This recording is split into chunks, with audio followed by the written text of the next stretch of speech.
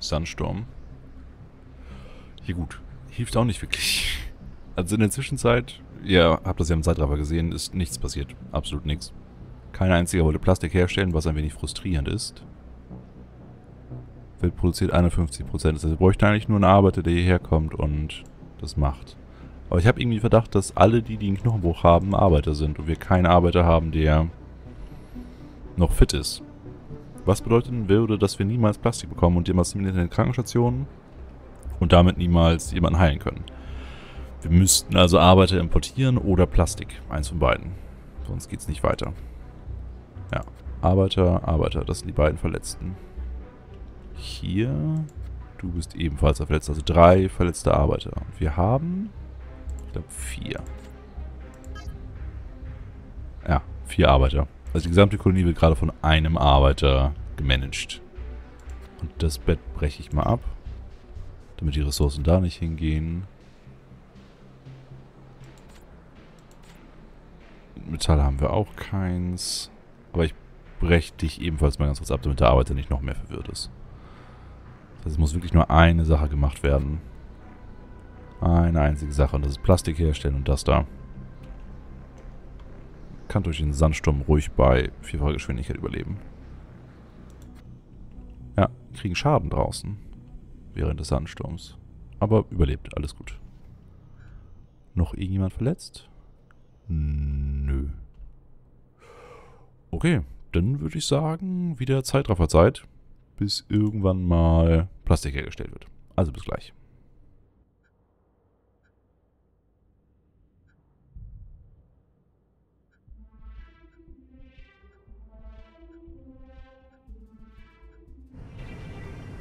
Ein Handelsschiff oder ein Kolonistenschiff? Handelsschiff. Was hast du denn? Äh, nix hast du. Nix von Wert hast du. Weg. Alles doof. Wie hätte ich das verhindern können? Ich hätte von vornherein die Krankenstation früher bauen können. Aber... Ja, nichts aber. Ich könnte das Biodom recyceln. Das klingt gar nicht so schlecht. Das Kontrollzentrum eigentlich auch. Die Waffenkammer. Was, was kostet die Waffenkammer? Metall. Bringt mir nichts.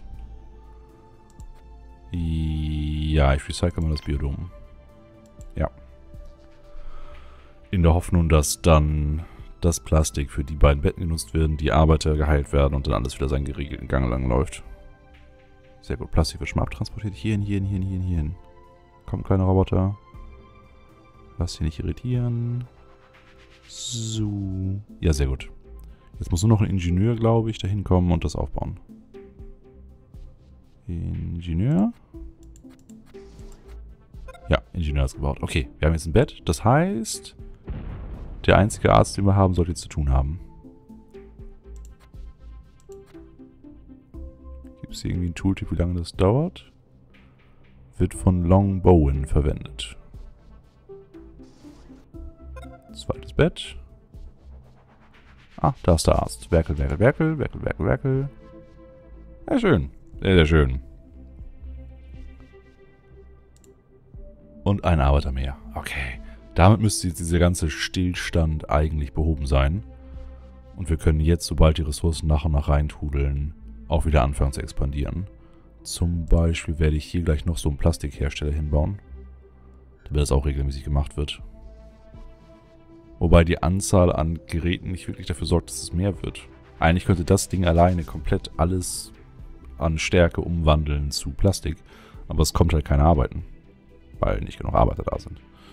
Aber das Problem lösen wir auch gleich. Ich sollte nochmal bei der Landerlaubnis einstellen, dass ähm, doch nicht so viele Ingenieure kommen. Sondern mehr Arbeiter. So. Problem ist nur, dass wir kein anscheinend sehr interessantes Ziel sind für Kolonisten. Deswegen kommen keine Schiffe. Ich hoffe mal, das regelt sich bald. Sagt die Übersicht. Ja doch, wir sind jetzt wieder gut. Aber unser Ansehen ist runtergegangen. Das war schon mal auf über 30. Komm schon, Kolonisten, Kolonisten. Ja. Aber ich werde nicht darüber informiert, wer das ist. Was, was? Bitte wie?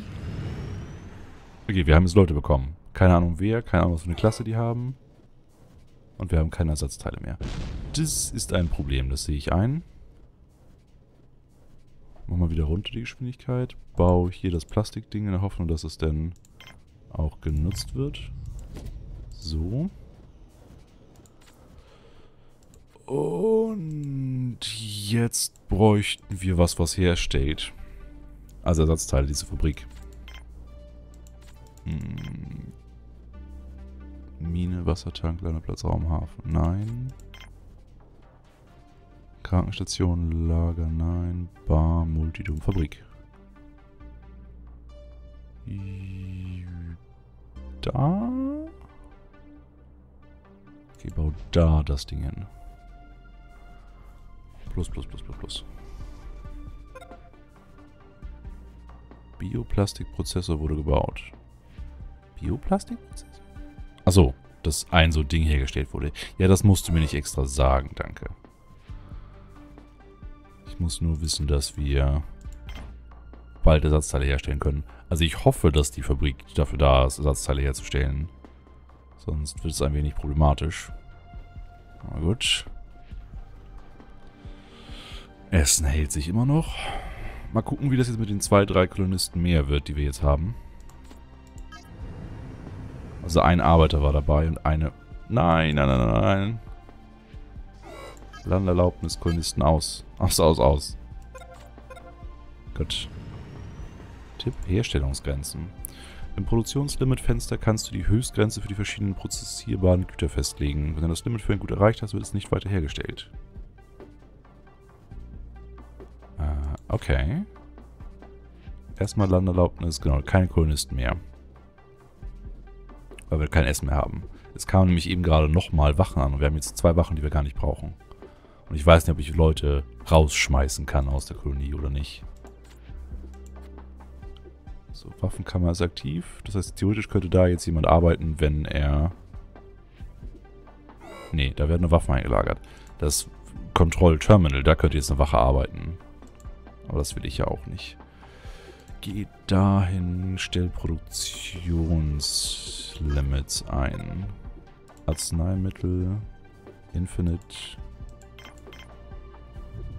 Das klingt eigentlich alles gut, weil ich kann alles davon vertauschen. Ja, mach mal. Fabrik. Du, stell mal her. Ersatzteilwerkstatt. Da. Ja, ja, ja, arbeiten wir dran. Halbleiter und Waffen. Ich denke, wir werden nicht genug Metall haben. Bau erstmal nur das Ersatzteilding und dann gucken wir.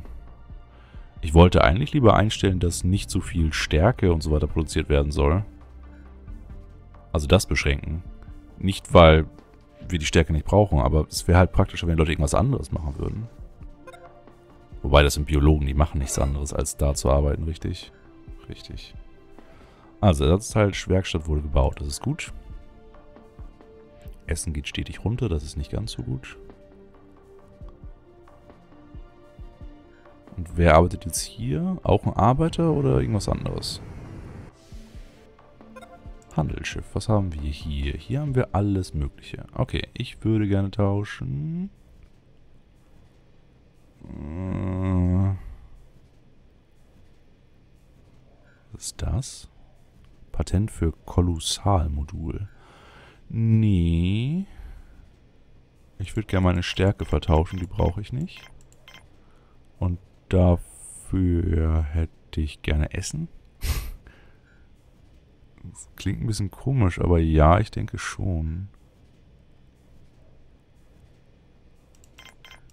Ah, Kommission ganz vergessen. So. Handeln. Danke. Meine Hoffnung war eigentlich eher, dass ich auch so viele Ersatzteile herstelle, dass dann wir die Ersatzteile vertauschen können, weil die waren recht wertvoll. Aber bisher kommt kein einziger an und arbeitet hier bei den Ersatzteilen. Weil die alle mit Transport beschäftigt sind. Ja, okay. Ich habe auch noch keine Möglichkeit, die Medkits herzustellen, die Arzneimittel. Die werden anscheinend nicht in der Fabrik hergestellt, sondern im Labor vielleicht? Äh, Einrichtung zur Herstellung von Arzneimitteln, ja. In der auch synthetisches Fleisch eingebaut werden kann. Huh. Okay.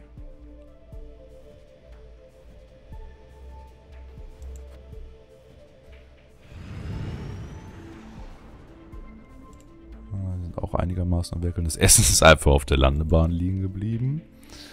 Gut. Ah, und da. Ah, ein Ingenieur. Okay. Und hier ist die Arbeit. Also Arbeiter arbeiten an der Veredelung von Erz zu Metall und von Stärke zu Plastik. Und Ingenieure arbeiten in der Fabrik an der Herstellung von Halbleitern, Ersatzteilen und Waffen. Gut. Die Ressourcen gehen auch langsam hoch, das ist gut. Ich bräuchte bald eventuell eine größere Kantine, oder? Für noch mehr von den Essensfertigen? Nee, es sind immer noch genug Essensfertiger. Muss ich mich jedes Mal daran erinnern. Es sind genug Essensfertiger, es sind nur nicht genug Leute, die damit arbeiten wollen. Ressource schafft Ersatzteile. Äh. Oh, es werden jetzt mal zwei hergestellt. Das ist praktisch. Okay, die lassen wir also so werkeln. Das ist okay. Du da hinten brauchst ein Ersatzteil und wir haben zwei und es werden gleich neu hergestellt. Hm. Labor bauen oder nicht bauen? Das Biodom sollten wir eigentlich auch wieder aufbauen. Nicht unbedingt für Essen, sondern für die Heilpflanzen. Die baut man, glaube ich, auch im Biom an. Ja. Wofür ist das da? Eine normale Kiefer produziert tagsüber Sauerstoff und braucht etwas Sauerstoff in der Nacht. Kolonisten können sich durch den Anblick entspannen. Ha. Also wir könnten noch ein Biodom bauen mit einmal Heilpflanzen, einmal vielleicht irgendwas anderes Essensartiges und Restbäume. Also einmal Eiche, einmal Kiefer, damit die Kolonisten gut drauf sind. Was haben wir hier Schönes? Handelsschiff. Allerdings nichts zu vertauschen. Anscheinend wollen die keinen Erz haben. Gentomaten-DNS. Nee, danke. Bioplastik vertauschen. Nee. Nee. Freiberuflicher Nahrungsmittelhändler. Kann man irgendwo angucken, wie seine Moral ist? Oder wie sehr er uns mag? Hm.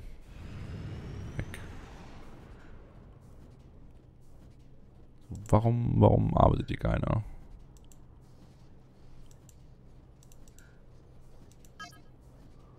Fabrikkomponente, wo ein Ingenieur Ersatzteile herstellen kann. Ja, hm. okay.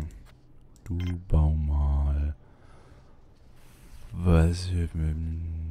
Halbleiter. Und Waffen. In der Hoffnung, dass irgendein Ingenieur sich dazu veranlagt sieht, irgendwas davon zu bauen. Sonneneruption steht kurz bevor. Das heißt, Solarzellen deaktivieren? Ich mache einfach mal. Nicht, dass die irgendwie ausbrutzeln oder so.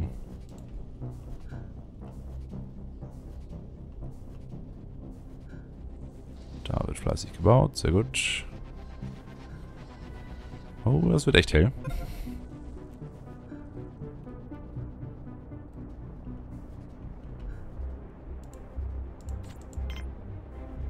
Funkantenne. Ich suche gerade irgendwas, womit man Roboter bauen könnte.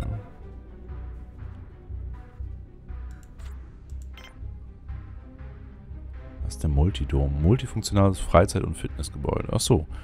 Ja, könnte man auch noch bauen, genauso wie die Bar. Robotikeinrichtung. Ah, das wird sein, ja. Ziemlich sicher. Ich glaube, ich baue das als nächstes. Könnte man sogar in groß bauen, aber nein.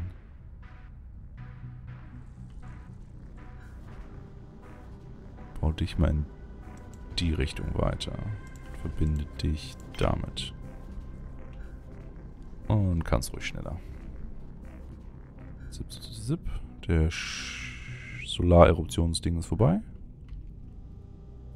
Gut. Dich an, dich an. Und es kann sein, dass dadurch irgendwelche Gebäude beschädigt wurden, aber irgendwas Großartiges nicht passiert. Ob die Solarzellen jetzt wirklich hätten ausbrennen können, habe ich keine Ahnung. Könnte ich nächstes Mal ja testen, aber... Hm, oh, Verstrahlung. Ah, okay. Das passiert also bei einer Solareruption, wenn Leute draußen sind. Werden verstrahlt. Robotik-Einrichtung wurde gebaut. Wow, das ging schnell. Dann bitte einmal verbinden. Von irgendjemanden.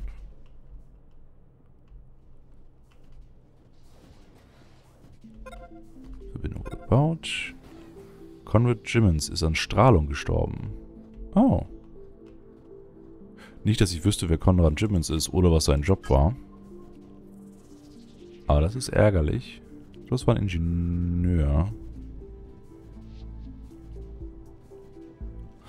Okay, wir brauchen jetzt alles außer Wachen. Ne, eigentlich brauchen wir mehr Ingenieure und mehr Biologen. Das heißt, ich gehe mal auf Landerlaubnis, stell Kolonisten ein, mach Arbeiter runter, mach Wachen runter. So. So sieht gut aus. Okay. Ist wieder aktiviert. Weil ich hätte gerne mehr Ingenieure für mehr Ressourcen zum Tauschen mit Handelsschiffe kommen. Ich hätte gerne noch einen Backup-Arzt, falls der andere Arzt durch irgendwas stirbt. Das wäre nämlich ärgerlich, wir gar keinen Arzt mehr. Und was war das andere? Hm, Biolo Biologen für mehr... Also nicht unbedingt das Essen abbauen, nicht die Nahrung abbauen, sondern die Automaten hier nutzen. Ach, das macht gar kein Biologe. Äh, ja, okay. Das ändert nochmal alles. Biologen weiter runter. Ingenieuren hoch. Okay. So.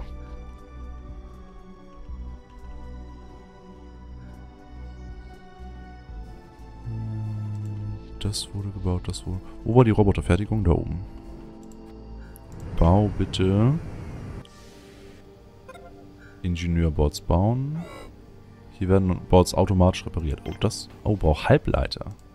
Äh, ja, nee, das erstmal noch nicht. Dann bau bitte den. Und Handelsschiff ist da. Was hast du denn Schönes? Viel Zeug. Wir haben allerdings nicht viel Zeug zum Tauschen. Um nicht zu sagen, gar nichts. Und wir haben auch bald kein Essen mehr. Nee, tut mir leid. Muss gehen.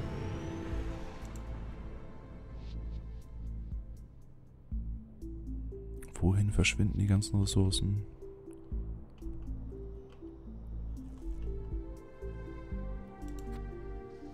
Ja, Ersatzteile werden hergestellt, aber werden auch fast genauso schnell verbraucht.